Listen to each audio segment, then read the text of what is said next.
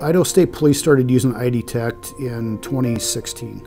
We primarily use it for applicant testing, and uh, so we use it for commissioned troopers and then non-commissioned employees as well. Uh, the benefits of using that is it's a very standardized test, which means that everybody goes through the same test, they get asked the same questions, so it takes the human factor out of testing part of that, which I, I think is a very beneficial uh, part. We've recently started doing an MCT test for screening applicants now. And uh, one of the things that that does is it gives us a specific area where somebody fails on the test, which is a huge benefit for us.